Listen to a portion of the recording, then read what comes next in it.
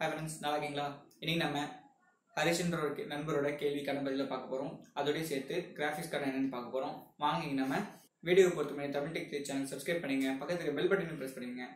Tamil tech three சேனலோட எல்லா அப்டேட்ஸும் உங்களுக்கு உடனுக்குடன் வந்துடும் வாங்க நம்ம வீடியோக்கு போகலாம்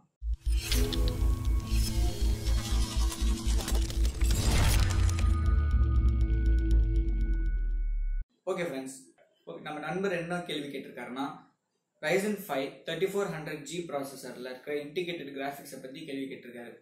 ஸோ ஃபர்ஸ்ட் நம்ம இன்டிகிரேட்டட் கிராஃபிக்ஸை பார்க்கறதுக்கு முன்னாடி ஃபர்ஸ்ட் நம்ம கிராஃபிக்ஸ் என்னன்னு பார்த்து கிராஃபிக்ஸ் அண்ட் கிராஃபிக் கார்டு என்னன்னு பார்த்துருவோம். கிராஃபிக்ஸ் கார்டை வந்து டெக்னிக்கல் டம் ஜிபியூன்னு சொல்லிட்டு ப்ரொனவுன்ஸ் பண்ணுவோம். ஜிபியூனா கிராஃபிக்கல் ப்ராசஸிங் யூனிட் இந்த கிராஃபிக்கல் ப்ராசஸிங் யூனிட் அப்படின்றது சிபியோட ஒரு தம்பின்னு கூட சொல்லலாம். சிபியூன்னு நம்ம ஏற்கனவே என்னென்னு பார்த்துருந்தோம். அந்த வீடியோ நீங்கள் பார்க்கணும்னா ஐ பட்டனில் லிங்க் கொடுக்குறேன். அந்த வீடியோவை மறக்காமல் போய் பார்த்துட்டு வந்துருங்க. ஸோ ஒரு சிபிக்கும் ஜிபிக்கும் என்ன வித்தியாசம் அப்படின்னு பார்த்தோம்னா பெரிய வித்தியாசமே கிடையாது. சிபியூ ஜிபியூ ரெண்டுமே ஒரு ப்ராசஸிங் யூனிட் தான். ரெண்டுமே சிலிக்கானால் தான் செய்யப்பட்டிருக்கு.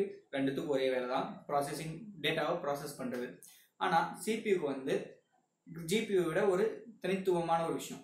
ஏன்னு சொன்னால் சிபியூக்கு வந்து ஒரே நேரத்தில் பல வி பல விதமான டாஸ்க்கை வந்து பண்ண பண்ணுற மாதிரி இருக்கும். எக்ஸாம்பிளுக்கு டெஸ்க்டாப் ரன் பண்ணும்.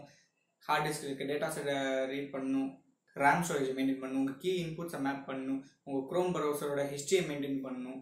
ப்ளஸ் நீங்களோட ப்ளஸ் பின்னாடி மற்ற அப்ளிகேஷன்ஸ் ரன் பண்ணணும்.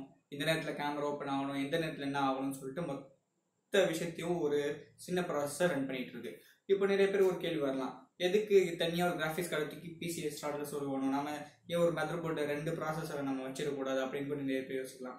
அப்படி பண்ணலாம் பட் அது வந்து எஃபிஷியண்ட்டாக இருக்காது. இது எதுக்குன்னு சொல்லிட்டு அதை பற்றி நான் இன்னொரு வீடியோ உங்களுக்கு தெளிவாக சொல்கிறேன் இப்போ கிராஃபிக்ஸ் கார்டை பற்றி வரும் கிராஃபிக்ஸ் கார்டுக்கு வந்து ஒரே ஒரு வேலை தான் இருக்குது என்னன்னா கிராஃபிக்ஸை ரெண்டர் பண்ணணும். இந்த கிராஃபிக்ஸ் எதில் தான் வரும்?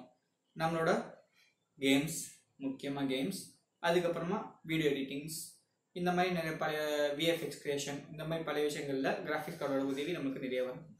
ஸோ சிபியூக்கும் ஜிபியுக்கும் இருக்க வித்தியாசத்தை இன்னும் சிம்பிளாக நம்ம சொல்லணும்னா இப்போ நம்மக்கிட்ட ஒரு கோடாலி இருக்குன்னு வச்சுக்கோம் அந்த கோடாலி வந்து நம்ம பல விதமாக யூஸ் பண்ணலாம். மர மரத்தை வெட்டலாம் விறகு வெட்டலாம் வேட்டையாட போகலாம் இந்த மாதிரி ஒரே கோடாலி வச்சு நம்ம பல விதமான வேலை பார்க்கணும். அந்த கோடாலிக்கான வேலைன்னா வெட்டுறது. இப்போ இதே சினாரி வந்து வேற மாதிரி மாற்றி பாருங்க. உங்களுக்கு திடீர்னு ஹார்ட்ல வந்து ஒரு சர்ஜரி பண்ண வேண்டியது இருக்கு. நீங்கள் ஹாஸ்பிட்டல் பார்த்துட்டு இருக்கீங்க. அப்போ வெட்ட தானே போகணும்னு சொல்லிட்டு டாக்டர் கோடாலி எடுத்துருந்தா உங்களுக்கு எப்படி இருக்கும்? இதே மாதிரி தான் கம் சிபியூ வந்து சிபியூ அண்ட் ஜிபியூ ரெண்டுமே வந்து ஒரே மாதிரியான விஷயங்கள் இருந்தாலும் அதோட ஆர்கிடெக்சர் டிசைன் வந்து வேற. அதோட கோர் ப்ராசஸர் வந்து எதுக்காக உருவாக்கப்பட்டதோ அதுக்காக மட்டும் தான் வேலை செய்யும்.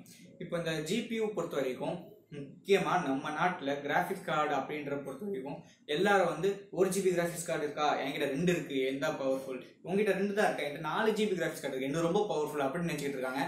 இந்த மாதிரியான இந்த சிந்தனை இருக்க நிறைய பேர் இந்த வீடியோ பார்த்துட்டீங்கன்னா கண்டிப்பாக சொல்கிறேன் நீங்கள் முட்டாளாகப்பட்டிருக்கீங்க கடைக்காரர்கள் மூலமாக ஆமாம் கண்டிப்பாக அப்படி தான் ஏன்னு சொன்னால் ஒரு கிராஃபிக்ஸ் கார்டோட பெர்ஃபார்மன்ஸ் வந்து அதோட ரேம் சைஸை பொறுத்து வராது. இப்போது கிராஃபிக்ஸ் கார்டு ஒரு ஜிபி கிராஃபிக்ஸ் கார்டு இருந்தால் கிராஃபிக்ஸ் கார்டே ரேம்னு சொல்லிட்டு ஒன்று இருக்குது ஸோ அந்த கிராஃபிக்ஸ் கார்டோட ரேம் சைஸ் தான் அந்த ஜிபி ஸோ அது ஒரு ஜிபி ரெண்டு ஜிபி மூணு ஜிபி இருந்தால் அந்த கிராஃபிக்ஸ் கார்டோட ஸ்பீடு வந்து ஜாஸ்தியாக தான் இருக்கும். அது ஜாஸ்தியாக இருக்குன்றது ஒரு பொதுவான கான்செப்ட் இருந்தாலும் அந்த கிராஃபிக்ஸ் ப்ராசஸரோட மாடலை பொறுத்து தான் அது வந்து எவ்வளோ பர்ஃப பவர்ஃபுல்ன்றதை பொறுத்து இருக்கு.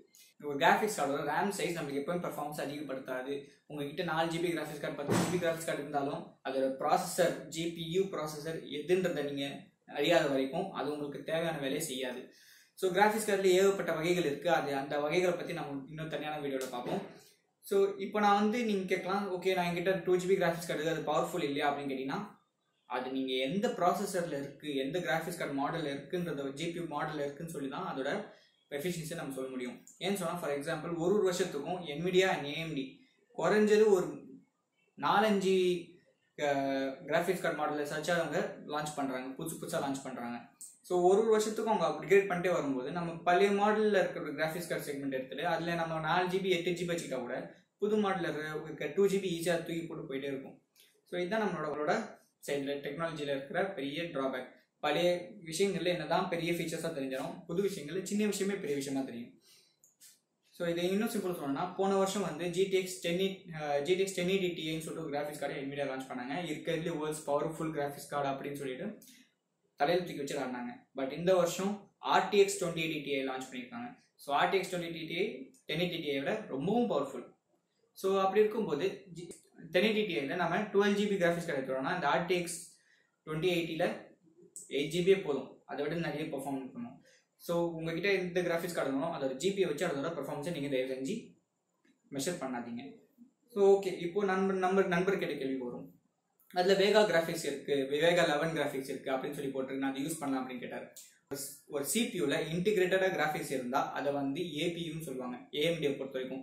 Accelerated processing unit so AMD என்ன பண்ணிருக்காங்கன்னா அவங்களோட வேகா ஆர்கிடெக்சரில் இருக்க கிராஃபிக்ஸ் கார்ட்ஸோட சேம் ஆர்கிடெக்சரை ஒரு சிபியூக்குள்ள அவங்க இன்டிகிரேட் பண்ணிருக்காங்க.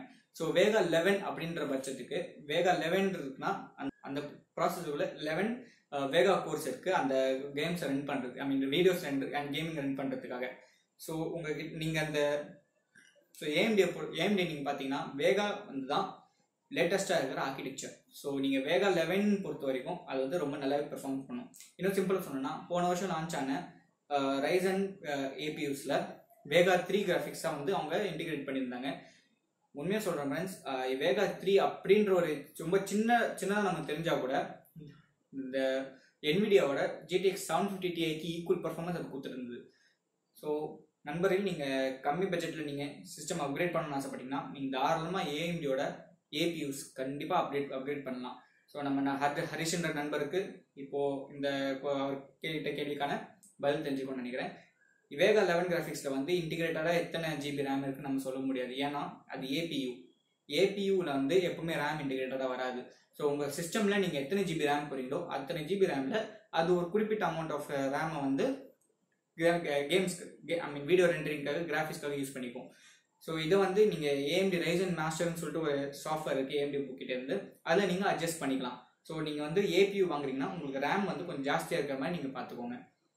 சரி நண்பர்களே உங்களுக்கு இந்த வீடியோ ரொம்ப பிடிச்சிருக்கும்னு நினைக்கிறேன். இதே மாதிரி நிறைய வீடியோஸ் வேணும்னா இந்த இந்த சேனல் சப்ஸ்கிரைப் பண்ணுங்க. பக்கத்தில் பெல் பட்டனை ப்ரெஸ் பண்ணுங்க.